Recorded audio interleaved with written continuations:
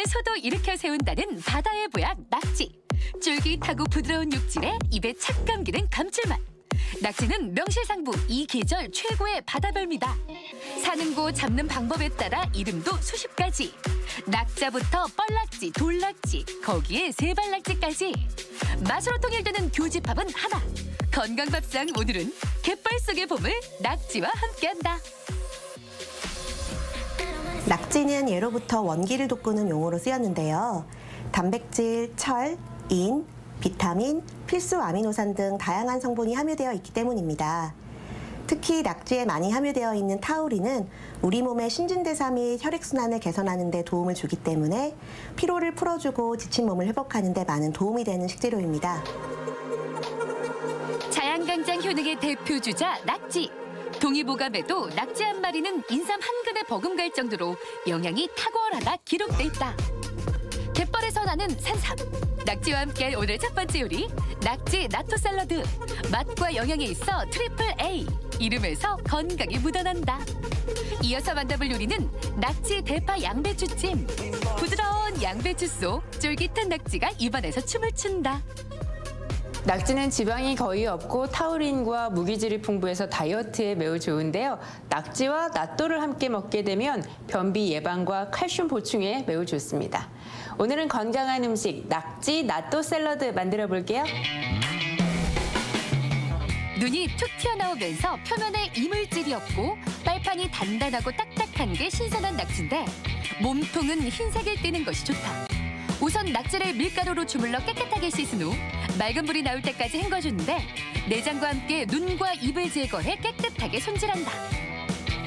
손질한 낙지는 녹차 끓인 물에 살짝 데쳐내는데 녹차의 탄닌 성분이 낙지의 탈색을 막아 색을 더 뽀얗게 지켜준다.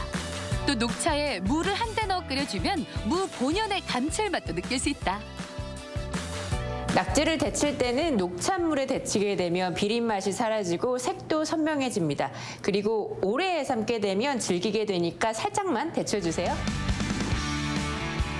나토 샐러드에 들어갈 데친 낙지는 2cm 정도의 한 입 크기로 잘라 숙회로 먹기 좋은 사이즈로 준비하고 샐러드에 감초, 파프리카는 아삭한 식감이 잔잔하게 느껴질 수 있도록 가늘게 채친 다음 작은 주사위 모양으로 썰어 넣는다.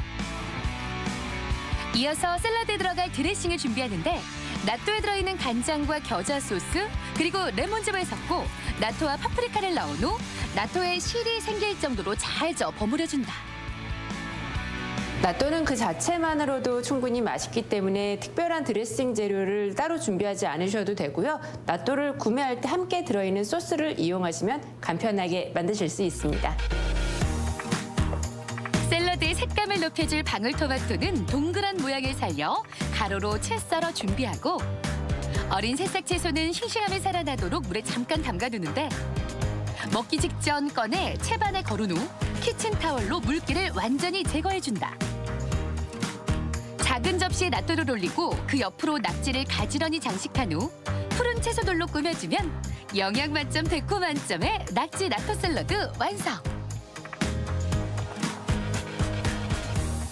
이렇게 작은 그릇에 하나씩 플레이팅 하게 되면 먹기도 간편하고요. 특별한 손님 초대상으로도 매우 좋습니다.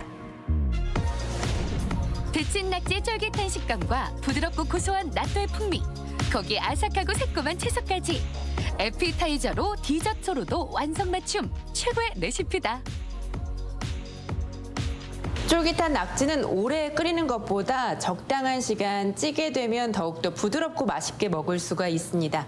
오늘은 몸속 노폐물을 제거해주는 대파와 함께 곁들인 낙지 대파 양배추찜 만들어 볼게요. 낙지는 내장을 제거해야 신선도를 유지할 수 있는데 내장과 눈, 이빨을 손질한 다음 소분해서 냉동실에 보관한다. 낙지를 씻을 땐 먼저 굵은 소금으로 거품이 나도록 문질러준 후 다시 밀가루를 넣어 거품이 사라질 때까지 바락바락 치대준다. 이후 깨끗한 물에 낙지를 충분히 헹궈주는데 뽀얗게 씻어낸 낙지는 가위를 이용해 내장을 손질한다. 이때 주의사항 하나, 낙지 머리를 뒤집을 때 물이 튈 수 있으니 조심하자.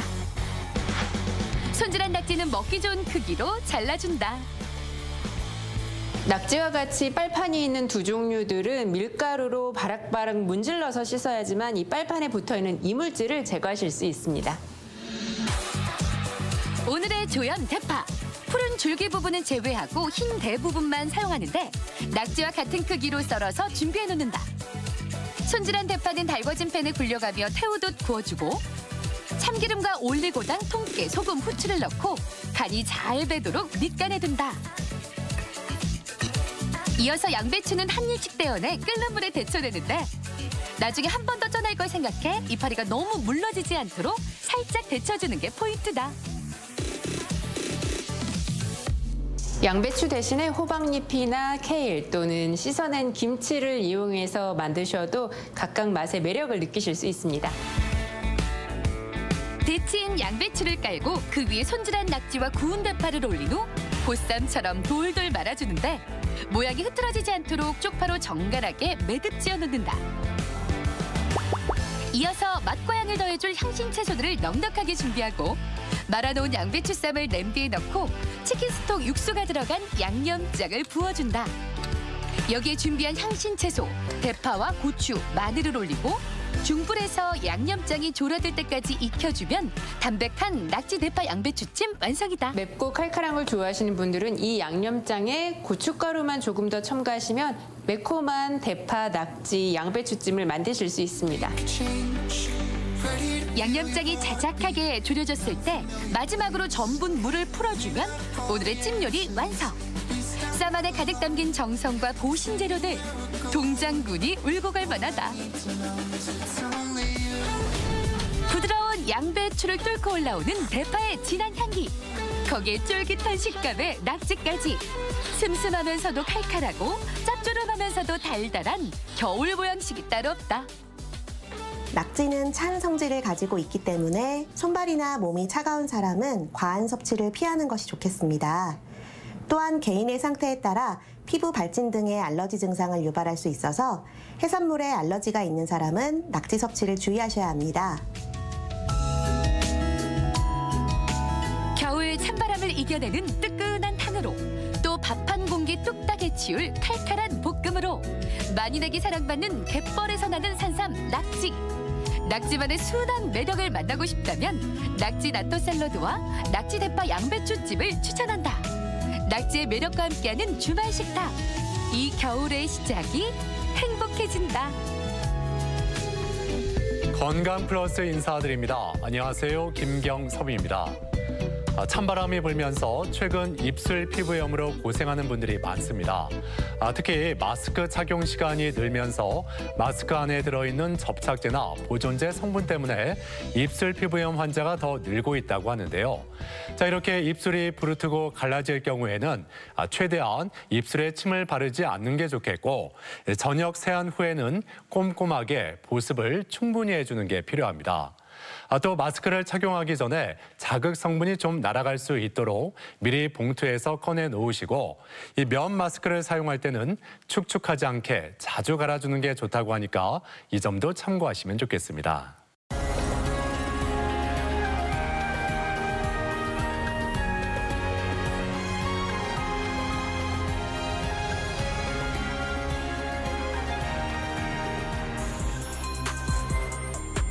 우리나라 여성에게 발생하는 암 가운데 가장 흔한 암으로 꼽히는 유방암.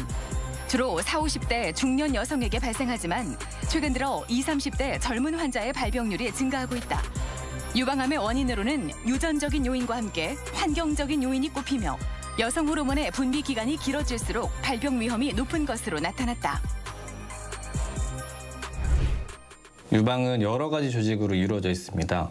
그 대표적인 게 모유를 만드는 유선 조직이 있고요. 만들어진 모유가 밖으로 배출되게 하는 통로의 역할을 하는 유관 조직이 있습니다. 그 외에도 이제 지방층도 있고 어, 유방을 지지하는 구조도 있는데 이런 다양한 조직에서 생기는 암들을 통틀어 유방암이라고 하고 그 중에 대표적인 가장 흔한 암이 유관암이 되겠습니다. 여성이라면 그 누구도 자유로울 수 없는 유방암. 국내에서 매년 유방암 진단을 받는 환자 수만 2만 명이 넘는다. 유방암은 자각 증상이 거의 없어 조기 발견이 쉽지 않을 뿐 아니라 진행 속도 또한 빠른 암으로 손꼽히는데 오늘 TV 주치에서는 여성의 적 유방암에 대해 자세히 알아본다. 여성이라면 누구나 걱정하게 되는 질환이 바로 유방암이 아닐까 싶습니다. 우리나라는 물론이고 전 세계 여성들에게서 가장 많이 나타나는 암이 바로 유방암이라고 하는데요. 자, 오늘은 이 유방암에 대해서 자세히 알아보겠습니다. 아, 도움 말씀을 위해서 건양대학교 병원 유방암센터 권성욱 교수 나오셨습니다. 안녕하세요. 안녕하세요. 예, 한국 유방암 학회 설문 조사 결과를 보니까 응답자의 50% 가까이가 이 평소에 유방암을 걱정하고 있다 이렇게 나타났는데 자 먼저 유방암이 어떤 암인지부터 간략하게 짚어 주시죠. 어, 유방암이라는 것은 유방에 생기는 악성 종양을 의미합니다. 겉으로 보기에는 굉장히 단순하게 보이지만 유방은 여러 가지 조직과 구조로 이루어져 있는데요. 그 유즙을 생산하는 유선과 또 유즙이 이동하는 통로가 되는 유관 그리고 대부분이 지방 조직으로 이루어져 있고요. 또 이런 것들을 유지하는 그런 섬유 조직으로 이루어져 있습니다. 이러한 다양한 조직에서 생길 수 있는 암을 통틀어서 유방암이라고 부르고 있습니다. 뭐 대부분의 암이 다 그렇듯이 이 유방암도 종류가 좀 나뉘겠죠? 어떻습니까? 예, 맞습니다. 그래서 유방암은 어, 크게 제자리암과 침윤암으로 나눌 수가 있습니다. 어, 제자리 암은 유관 안에 이제 암이 그 국한된 경우를 제자리 암이라고 하고 연기암으로 분류를 합니다. 침윤암 같은 경우는 유관을 벗어나서 유선까지 침범된 경우를 침윤암이라고 하고 당연히 제자리암의 경우에 예후가 더 좋다고 볼 수 있습니다. 네, 여성들의 경우 유방암 정기 검진을 받게 되는데 이 결절이 양성과 악성으로 나뉘게 되잖아요. 이 양성 종양과 악성 종양 어떤 차이점이 있는지 짚어주시죠. 어, 간혹 이제 양성 종양이라고 하면 음성과 반대되는 개념으로 이제 암인 줄 알고 오시는 분들이 많거든요. 근데 여기서 양성 종양은 반대는 악성 종양입니다. 악성 종양은 암이라는 뜻이고요. 암은 표면이 울퉁불퉁하고 딱딱한 특징을 가지고 있고요. 그리고 크기가 큰 경우에는 피부에 딱 달라붙어서 고정되어 있는 경우가 많이 있습니다. 그리고 당연히 자라는 속도가 빠르고요. 그리고 다른 장기나 주변 림프절로 전이가 가능하다는 특징을 가지고 있습니다. 뭐 앞서 말씀드렸다시피 우리나라는 물론이고 전 세계에서 여성암 중에서 유방암이 발병률이 1위라고 하는데 자 구체적인 유병률이 어느 정도인지도 궁금한데요. 어, 전 세계와 마찬가지로 우리나라 여성 암 중에 유병률이 가장 높습니다. 그 퍼센트는 한 20% 정도 되고요. 한 해 발생 인원은 한 2만 명, 2만 명이 넘어가고 있습니다. 그리고 2017년부터는 갑상선암을 제치고 여성 암 중에 가장 높은 어, 발생을 보이는 암이 되었습니다. 그리고 이 유방암 발병 연령대도 점점 더 젊어지고 있다 이렇게 들었는데 이 연령대별로 유병률은 어떻게 될까요? 외국의 경우에는 60대 환자분이 가장 많습니다. 60대 환자분이 가장 많은데 우리나라 같은 경우는 특징적으로 40대 환자분이 발생이 가장 많고요. 그 다음에 50대, 60대 순으로 발생이 되는 것을 볼 수 있고요. 그래서 저희 나라는 어, 젊은 층에 발생을 많이 한다는 특징을 보이고 있습니다. 자 이렇게 발병 연령층도 점점 낮아지고 있고 유방암 환자 여성들에게서 많이 나타나는 이유 그 위험 인자가 무엇인지 좀 자세히 들여다보죠. 어, 유방암의 원인은 아직 밝혀지지 않은 것들이 더 많이 있습니다. 하지만 지금 현재 밝혀진 원인으로는 여성 호르몬 중의 하나인 에스트로겐의 영향을 볼 수 있고요. 그 여성 호르몬 에스트로겐의 여- 노출 기간이 긴 경우에 유방암의 위험이 높아지는 것으로 되어 있습니다. 그래서 초경이 빠르거나 폐경이 늦거나 아니면 출산을 하지 않거나 임신을 하지 않은 경우 모유수유를 하지 않거나 6개월 이하로 한 경우에 유방암 위험도가 높아지고요. 그리고 서구화된 식습관이나 아니면 경구 피임약 그리고 폐경기에 사용하는 호르몬 대체 요법도 유방암 위험 인자로 되어 있습니다. 뭐 유발 원인을 보니까 가족력과 생활 습관도 들어 있는데 이렇게 원인에 따라서 발병률도 좀 달라지겠죠. 방금 말씀드린 것처럼 원인은 모르는 경우가 더 많이 있고요. 그리고 이제 밝혀진 거로는 환경 요인, 예를 들어서 식- 식사라든지 그 행동 양식에 따라서도 발병을 할 수 있는데 그 가족과 연관된 유방암은 한 5% 정도로 되어 있습니다. 그래서 가족분들끼리는 식사라든지 생활을 같이 하기 때문에 어, 가족분들에서 같이 생기는 경우가 있고요. 정말로 유전, 유전과 관련된 경우는 1% 미만으로 적은 걸로 되어 있습니다. 또 이 자가 검진을 통해서 유방암을 발견하는 경우도 종종 있다고 들었는데 자 유방암 증상 어떤 것들이 있을까요? 어, 역시나 가장 큰 증상은 유방암이 커졌을 때 혹으로 만져지거나 이제 멍울이 잡힌다. 그렇게 그렇게 해서 오는 경우가 제일 많고요. 그 다음에 유두 분비물, 특히나 피나 피가 섞인 유두 분비물이 나오는 경우가 있고 또 하나는 이제 겨드랑이에도 혹이 만져진다. 아니면 젖꼭지가 갑자기 들어간다. 피부에 보조개가 생긴다 등이 있고요. 통증도 하나의 증상 관련된 증상이긴 한데 오히려 유방암과 통증은 큰 연관은 없는 것으로 되어 있습니다. 아무튼 뭐 분비물이라든지 모양의 변화 등을 평소에 자세히 살펴봐야 될 것 같은데 자 이 증상에 대해서 구체적으로 좀 아, 구체적으로 좀 더 말씀해 주시죠. 네, 증상은 이제 혹이 커지게 되면 많이 커졌을 경우에는 이렇게 그림처럼 한쪽 유방이 커지고요. 유관 안에 있는 암이 출혈이 되면 유두분비물, 혈성 유두분비물이 나오는 경우가 있고요. 그리고 유관이 유관에 암이 침범이 되면 그 유관이 당겨지면서 유두가 함몰된다거나 아니면 유방 피부가 보조개가 생긴다거나 그런 증상이 있을 수가 있고 그리고 유방에 부종이 생기는 경우도 있고요. 또 유두에 습진이 잘 생긴다, 잘 헌다라고 해서 오시는데 그거는 유방암 중에 하나인 파제병의 경우에 그렇게 습진을 유발을 하는 경우도 있습니다. 그리고 유방 모양이 이렇게 오렌지처럼 보이는 오렌지 양 피부를 보이는 것도 유방암이 증상이라고 볼 수 있겠습니다. 뭐 다양한 증상들이 나타날 수 있기 때문에 유심히 살펴보는 게 필요하겠습니다. 자, 대전 MBC 건강 플러스 오늘 유방암에 대해서 알아보고 있는데요. 그럼 여기서 병원을 직접 찾아가서 환자들의 이야기를 들어보고 진단법과 치료법에 대해서 살펴보겠습니다. 화면으로 함께 만나보시죠. 유방암은 전 세계적으로 발병률이 가장 높은 암이다. 서구의 경우 폐경 전 유방암 환자의 비율이 낮은 데 비해 국내에서는 40대 젊은 환자의 발생률이 매우 높게 나타나는 것으로 알려져 있다. 유방암은 별다른 전조 증상이나 통증이 없기 때문에 조기 발견을 위한 주기적인 유방 검진이 무엇보다 중요하다. 어떻게 오시게 되셨어요?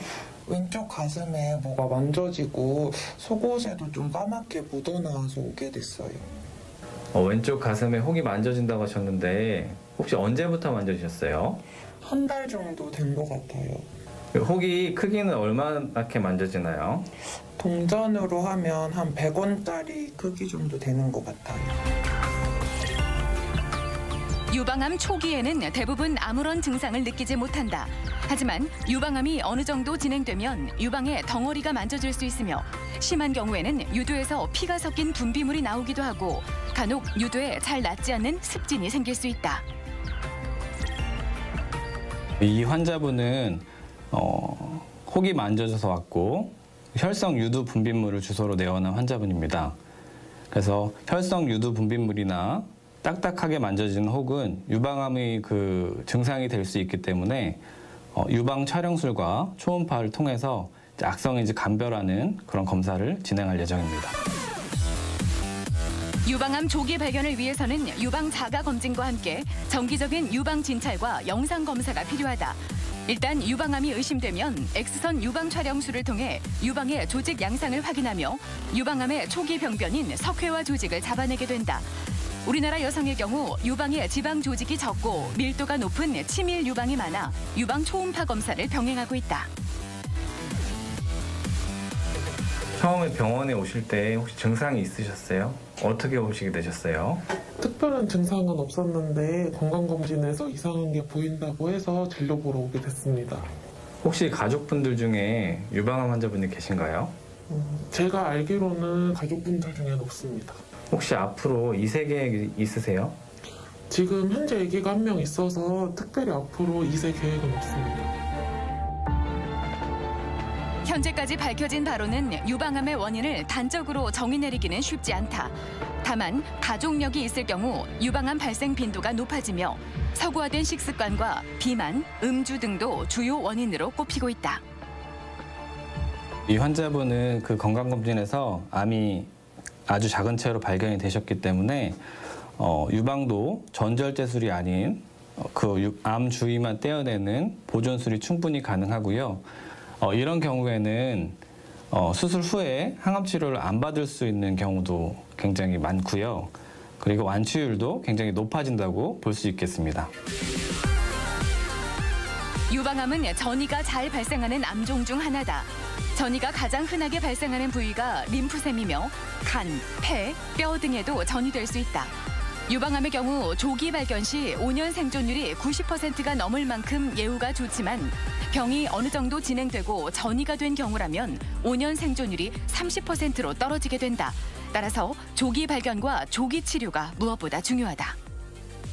유방암은 예전에는 굉장히 예후가 안 좋은 암에 속했는데요. 수술 방법도 개발이 되고 약제들도 많이 발전이 되면서 최근에는 예후가 많이 좋아졌습니다. 근데 하지만 3기, 4기 같은 경우에는 아직도 예, 예후가 많이 안 좋기 때문에 어, 빨리 발견되고 빨리 치료를 해야지 좋은 결과를 얻을 수 있습니다. 5년 생존율이 높아지면서 유방암을 흔히 예후가 좋은 암, 순한 암이라 부르고 있다. 하지만 세상에 착한 암은 존재하지 않는 법. 병기에 따라 재발 위험이 높고 혈류나 림프관을 따라 빠르게 전이될 수 있기 때문에 결코 좌시해서는 안 되는 병이 유방암이다. 여성들의 건강을 위협하는 여성의 적 유방암. 정기 검진으로 조기 발견의 기회를 놓치지 말자. 병원을 찾아가서 환자들을 만나보고 유방암에 대해서 알아봤습니다. 자, 계속해서 말씀 나누죠. 자, 유방암 진단은 어떤 과정을 통해서 알 수가 있을까요? 어, 일단 환자분이 병원에 오시면 이제 병력 청취랑 신체 진찰을 하게 됩니다. 그래서 암이 의심되는 소견이 있으면 그 유방 촬영술과 기본적인 검사인 유방 초음파를 시행을 하고요. 거기서도 이제 암이 의심되는 병변이 있다면 그 조직 검사라고 해서 그 우리 연필심만한 바늘이 들어가서 그 조직을 이제 떼어 나오는 게 조직 검사거든요. 그 조직을 그 현미경으로 들여다봐서 암세포가 있는지를 보고 진단을 하게 됩니다. 뭐 모든 암이 다 그렇듯이 초기에 발견이 된다면 더할 나위 없이 좋을 텐데 자, 이 유방암은 어떤 기준으로 병기가 나뉠까요? 어, 유방암 병기는 예전에는 세 가지를 통해서 구하게 됐었는데요. 첫 번째는 암의 크기, 그리고 겨드랑이 림프절이 몇 개가 전이가 있는지, 그리고 뭐 폐라든지 간, 뼈라든지 이런 타 장기로 전이가 있는지 없는지를 보고 병기를 구했다면 최근에는 거기에 더해서 그 여성 호르몬 수용체가 있는지 그리고 조직학적 병기가 어떤지 그리고 유전적 변이가 있는지 없는지 어, 표적 수용체가 있는지 없는지에 따라서 병기를 구하게 되는데 굉장히 복잡해졌습니다. 복잡해진 반면에 더 더욱 더 정확한 병기를 예측할 수 있고 예후도 더 정확한 예후를 예측을 할 수 있습니다.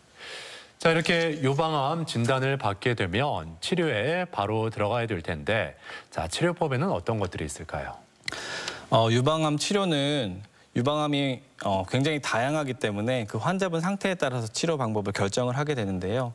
유방암 치료는 어, 크게 이제 국소적인 치료와 전신적인 치료로 나누게 됩니다. 국소 치료는 그 암 부위를 직접 치료하는 것으로 대표적인 게 수술과 방사선 치료가 있고요. 암이라는 것은 다른 장기로 세포 단위로 넘어갈 수 있기 때문에 이미 이제 이거는 전신 질환으로 보는 경우도 있습니다. 그래서 전신 치료는 항암 치료, 항암 화학, 화학 치료와 항호르몬 치료 그리고 면역이나 표적 치료 등을 시행을 할 수가 있습니다. 근데 그 유방암 수술법 중에서도 전절제술이 있다 이렇게 들었는데 이 전절제술 어떤 특징이 있는 수술법일까요? 어, 전 절제술이라는 것은 유방암 과거의 예후가 굉장히 안 좋았습니다. 그래서 치료에 집중할 수밖에 없었는데요. 그래서 유방암을 포함한 넓은 광범위 절제술을 시행했었었고 사진에서 보시면 대흉근 위에 올려져 있는 유방을 이제 피부와 함께 같이 절제를 하는 건데요. 유두, 유- 유륜을 포함해서 절제를 하고 이전에는 그 대흉근까지 절제를 하는 경우도 있었습니다. 그래서 사진에서처럼 흉이 크게 남고 하는 것을 전절제술이라고 합니다. 최근에는 이제 유방암 예후가 많이 좋아졌기 때문에 환자의 치료뿐만 아니라 환자의 그 삶의 질도 생각을 해야 되는 그런 시대가 됐습니다. 그래서 최근에는 유방암 암이 작은 경우에 암을 포함해서 주위 조직을 약간만 절제를 하는 유방을 최대한 많이 보존을 하는 유방 보존술을 많이 시행을 하고 있습니다. 근데 유방 보존술은 암이 크기가 작고 하나 두 개인 경우 그리고 상대적으로 유방암 유방이 크기가 큰 경우에 시행을 할 수 있는 수술입니다. 자, 그런데 또 듣기로는 겨드랑이 림프절로 수술을 해야 한다 이렇게 에, 경고가 있었는데 이건 또 어떤 수술법일까요? 어, 유방암 같은 경우는 어, 다른 데로 이동을 할 때 주위 겨드랑이를 통해서 먼저 이렇게 퍼져나가는 특성이 있습니다. 그래서 겨드랑이 림프절이 전이된 경우가 많이 있는데 그런 경우에는 겨드랑이 림프절을 모두 제거하는 림프절 곽청수를 시행을 하게 됩니다. 하지만 림프절 곽청수를 하게 되면 어, 림프 순환이 잘 안 되기 때문에 림프 부종이 오고 그러니까 환자분이 팔이 굉장히 많이 무거운 증상을 호소를 하시고 통증도 호소를 하는 경우가 많이 있습니다. 그런 수술법에 이제 어, 대안으로 나온 것이 감시 림프절 생검술이라는 겁니다. 이것은 그 저희가 사전 검사에서 림프절 전이가 없다라고 판단되는 분들은 수술 전에 그 유방에 물감이나 아니면 방사선 동위원소를 주입을 해서 유방암과 가장 가까운 림프절을 찾아냅니다. 찾아내서 거기에 있는 암 림프절 한두 개를 샘플을 해서 이제 암이 있는지 없는지를 보는 건데요. 만약에 그 샘플에, 샘플로 채취한 림프절에서 전, 전이가 없다면 이제 수술은 거기서 마치게 되고요. 만약에 거기에서 전이가 있다면 앞에서 말씀드린 림프절 곽청수를 시행을 하게 되는데 이 수술의 장점은 림프 부종이 적게 온다는 장점이 있습니다. 아무튼 그 세월이 흐르면서 수술법도 더 발달하게 되고 다양하게 이루어질 텐데 자 최근에는 이 변화 추이가 어떻게 될까요? 기존에는 2000년 초만 해도 유방 전절제술을 더 많이 시행을 했습니다. 근데 이제 수술 방법도 발전을 하고 어, 치료제도 많이 발전을 하면서 그 유방 부분 절제술이 더 이제 늘어가는 추세고요. 최근에는 한 60%, 66% 정도 유방 부분 절제술을 시행을 하고 있는 상태입니다. 자 그리고 또 유방 전 절제술이라든지 수술을 하고 나서 그 없는 유방을 다시 재건해주는 수술도 있다 이렇게 들었는데요. 이 수술법에 대해서도 좀 더 설명을 해주신다면요. 유방 보존술로 최대한 유방을 보존을 한다고 하더라도 모양 변형은 어쩔 수 없이 오는 경우가 많이 있습니다. 그래서 어, 유방 혹은 유방 조직을 많이 떼어낸 경우에는 유방 옆에 있는 조직을 이용해서 옮겨준다든지 아니면 복근이라든지 등, 등 근육, 엉덩이 근육 이런 것들을 이용해서 재건수를 할 수도 있고 아니면 그 보형물을 통해서 유방을 만들어줄 수도 있는데 이런 것들을 통틀어서 종양 성형 수술이라고 어, 말하고 있습니다. 자 그렇다면 이 유방 재건 수술은 절제와 동시에 이루어지는 건지 또 수술법이라든지 안정성에 대해서도 궁금한데 이 점에 대해서 좀 더 설명을 해주시죠. 재건을 하는 시기는 다양합니다. 수술을 하면서 즉시 재건을 하는 경우도 있고요. 어, 수술이 끝나고 나서 항암 치료가 완료되고 나서 하는 경우도 있습니다. 두, 두 수술 시기의 차이점은 없는 것으로 되어 있고요. 어, 모두 다 안전한 것으로 지금 되어 있습니다. 그렇기 때문에 어, 모두 다 가능한 수술이라고 보시면 되겠습니다. 그리고 뭐 대부분의 암에서 최근 수술법 하면 로봇 내시경 수술이 빠지지가 않는데 뭐 유방암 수술법에도 이 로봇 내시경 수술이 해당이 되는지 어떻습니까? 최근에는 이제 흉터, 흉터가 크게 남을 수 있는데요. 이제 흉터를 안 보이는 곳에 위치하면서 최대한 줄이는 최소 침습 수술 방법이 개발이 되었습니다. 그래서 어, 로봇이나 내시경을 통해서 수술을 하는 경우가 많이 있는데 아직까지 보편적인 수술은 아니고요. 대신에 이제 미용적인 효과가 굉장히 크기 때문에 만약에 이 수술법들이 가능한 환자분들에서는 마- 많은 이제 만족도를 느끼고 있는 수술 방법이라고 보실 수 있고 흉터가 굉장히 작고 어, 미용적인 그런 효과가 굉장히 뛰어난 수술이라고 볼 수 있겠습니다. 자, 이번에는 수술법 외에 다양한 치료 방법에 대해서 살펴보겠습니다. 아, 먼저 이 항암 치료에 대해서 짚어주시죠. 어, 항암 치료라는 것은 이제 그 유방암이 진행된 경우에는 대부분 시행하는 치료라고 알고 계시면 될 것 같은데요. 어, 이거는 수술 전에 시행하는 항암 치료가 있고 수술 후에 시행하는 항암 치료가 있습니다. 수술 전에 항암, 시행하는 항암 치료의 특징은 유방암이 진짜 줄어드는 것을 확인을 할 수 있습니다. 그리고 항암 치료에 완전히 반응을 해서 암이 없어지는 경우에는 굉장히 좋은 예후를 예측을 할 수 있는 중요한 그러니까 좋은 치료 방법이 되겠고요. 또 수술 후에 하는 항암 치료는 아까 말씀드린 것처럼 1cm 이상인 경우, 그러니까 병이 진행된 경우에 시행하는 경우가 많고 림프절 전이가 있다거나 삼중 음성 이렇게 예후가 좀 안 좋은 환자분한테 치료하는 경우가 많고요. 또 젊은 환자분들은 더더욱 더 이제 항암 치료를 시행을 적극적으로 시행하는 경우가 많이 있습니다. 자, 아무래도 이 항암 치료를 받다 보면은 이 부작용이 발생할 수밖에는 없겠죠. 예, 어떻습니까? 항암 치료 부작용 굉장히 많은데요. 어, 대부분 가장 흔한 게 이제 환자분들이 생각하는 부작용은 이제 탈모가 오는 것들 그리고 식사를 잘 못하시고 구토가 나는 것들이 이제 가장 큰 부작용으로 생각을 하시는데 네네. 치료자의 입장에서 가장 어, 걱정을 많이 하는 부작용은 항암 치료하면서 면역이 떨어져서 이렇게 위험한 상황이 생기는 그런 부작용을 들 수가 있습니다. 하지만 최근에는 이런 것들에 대한 치료 약제들도 굉장히 많이 개발이 돼서요. 그렇게 네. 크게 걱정하실 필요는 없을 것 같습니다. 자, 그리고 이 항암 치료와 함께 또 암하면은 방사선 치료를 떠올리게 되는데 아, 유방암에 있어서 방사선 치료는 어떻게 이루어질까요? 어, 유방암 환자에서 바- 모든 환자분을 방사선 치료를 하시는 건 아니고요. 그러니까 아까 유방 보존술, 유방을 살리는 치료를 하시는 분들은 어, 대부분 방사선 치료를 시행하셔야 됩니다. 그리고 전절제술을 하시는 경우에도 림프절 전이가 4개 이상 된다든지 아니면 이제 떼어낸 암이 떼어 그 절제형과 많이 가깝다든지 아니면 유방암 크기가 큰 경우에는 방사선 치료를 시행하셔야 합니다. 그리고 또 이 항호르몬 치료 요법도 있다 이렇게 들은 적이 있는데 아, 이 치료법은 어떤 방법일까요? 처음에 말씀드린 것처럼 유방암은 여성 호르몬과 관련이 많은데요. 여성 호르몬이 많이 분비가 되고 암에 여성 호르몬 수용체가 있는 경우에는 유방암 발생 위험도가 더 높아집니다. 그래서 여성 호르몬 수용체가 있는 분들은 그 수용체를 차단하는 호르몬 차단 요법을 하게 되는데 이걸 이제 항암 호르몬 치료라고 하고요. 그 부작용은 항암 치료보다는 적다는 특징을 가지고 있습니다. 그렇다면 이 유방암 예, 치료를 받은 뭐 대부분의 여성들이 예, 치료를 하면서 이렇게 호르몬제를 복용을 해야 되는 건지 만약에 복용을 해야 된다면은 계속 복용을 해야 되는 건지 뭐 이런 점도 좀 설명을 해주시죠.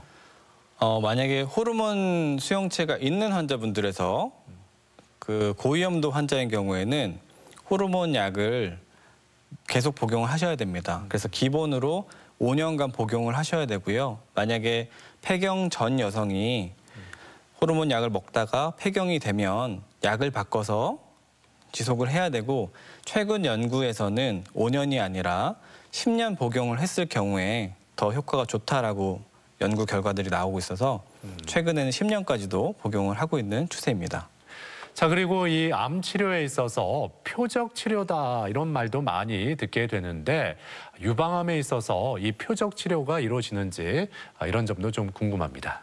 어, 표적 치료라는 것은 유방암 표면에 나와 있는 그런 표적 수용체를 타겟으로 해서 그 암세포만 죽이는 치료 방법입니다. 그렇기 때문에 유방암에 그런 특징, 특징적인 표적 수용체가 없으면 시행할 수 없는 단점이 있습니다. 그래서 가장 대표적인 것으로는 HER2 수용체라는 것이 있는데요.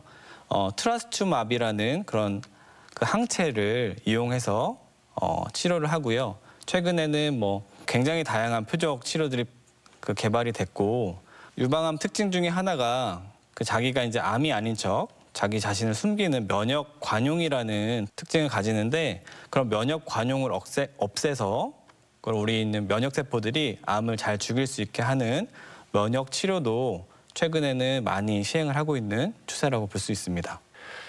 자, 무엇보다도 이 유방암을 예방하기 위해서는 평소에 정기 검진이 중요할 텐데요. 이 정기 검진은 어, 주기가 어느 정도인지 얼마 만에 한 번씩 받는 게 필요한지 말씀해 주시죠.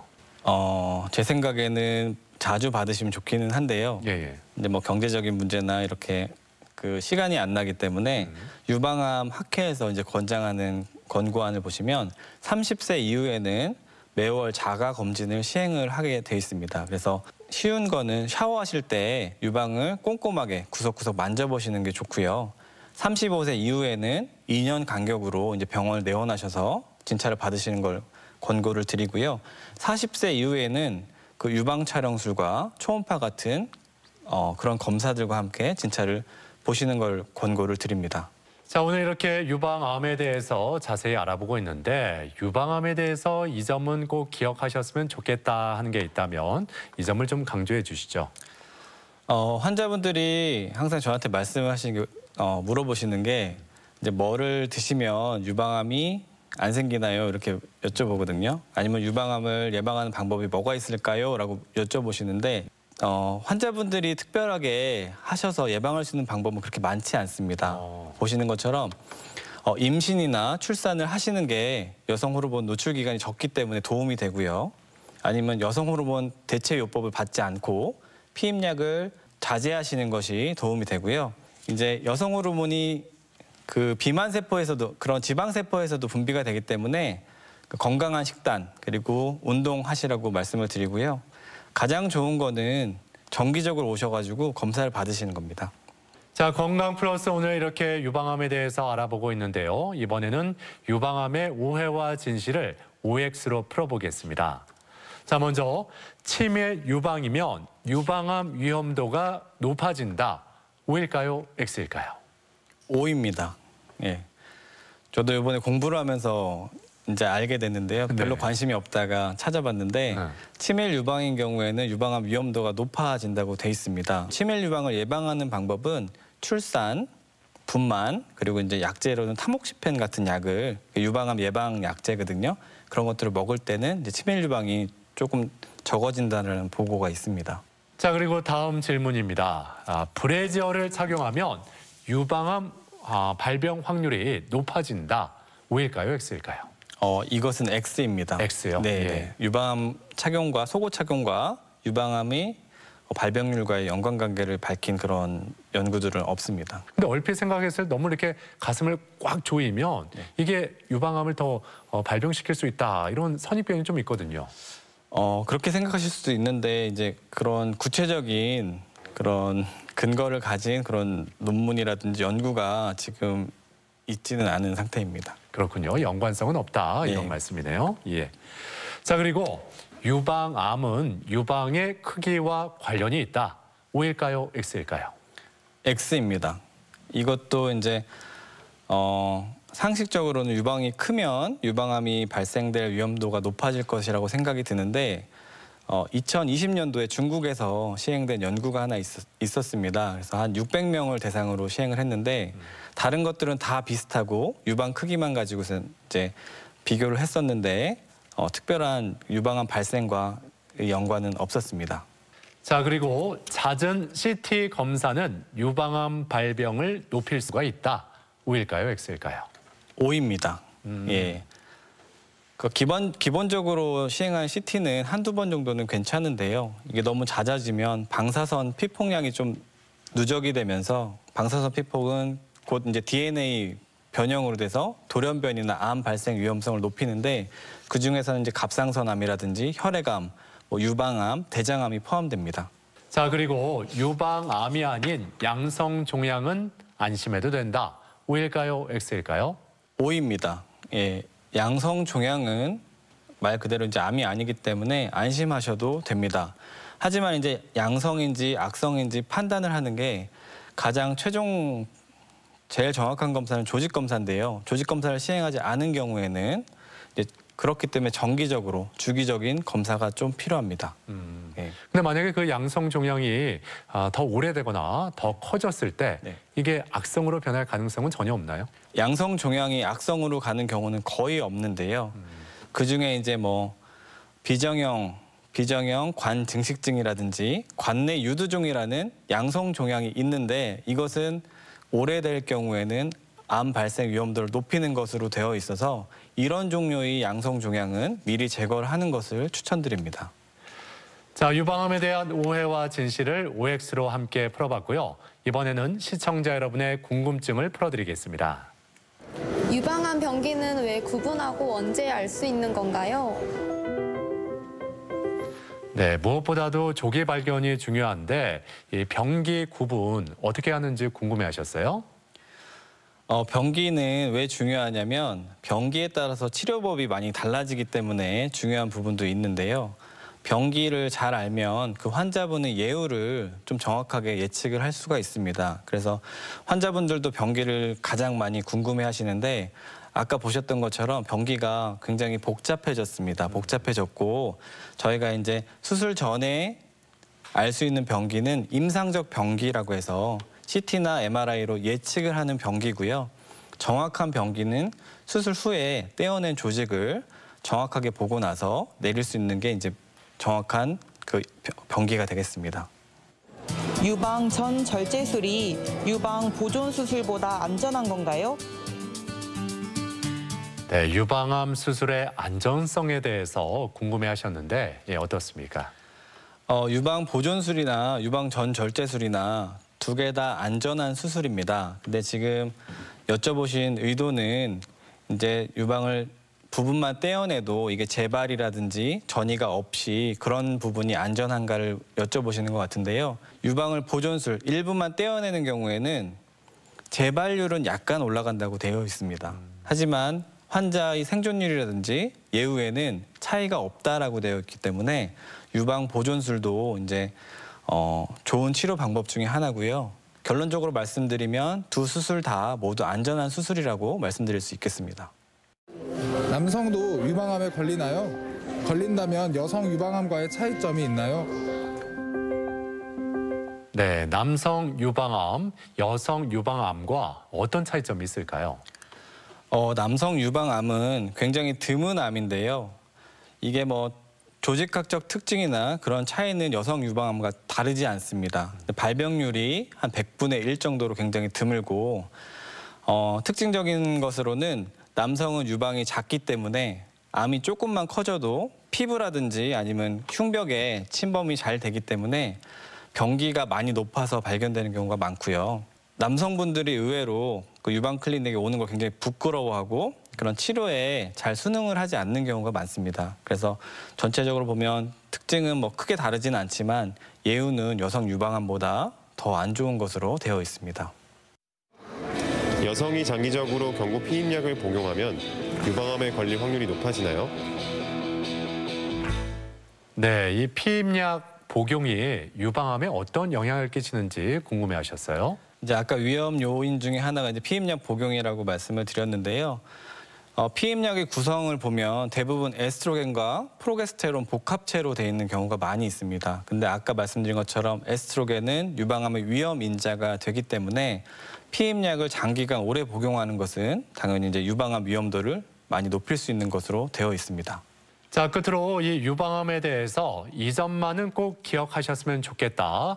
유방암은 네모다. 이 네모안을 좀 채워주신다면요. 유방암은 관심의 시작이다라고 말씀을 드리고 싶습니다. 왜냐하면 그 유방암은 굉장히 초기에 작을 때 발견되면 완치도 잘 되고요.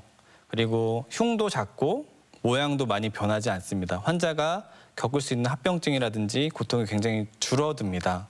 근데 이제 이게 무관심으로 혹이 만져지는데도 키운다거나 그런 경우에는 굉장히 물론 완치도 어렵고 고통이 굉장히 커지기 때문에 관심이 시작이다라고 이제 말씀드리고 싶습니다.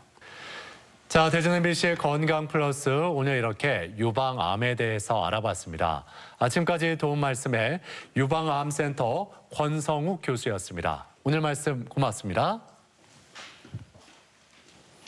유방암은 조기 발견을 통해서 완치가 가능한 암입니다. 아, 초기에만 발견하면 5년 생존율이 90% 이상이라고 하니까요. 아, 기회 놓치지 마시고 정기적인 검진을 통해서 관리를 꾸준히 잘 하셨으면 좋겠습니다. 건강 플러스 오늘 저희가 준비한 내용은 여기까지입니다. 이번 한 주도 건강하게 보내시길 바라고요. 다음 시간에 다시 인사드리겠습니다. 함께해 주신 여러분 고맙습니다.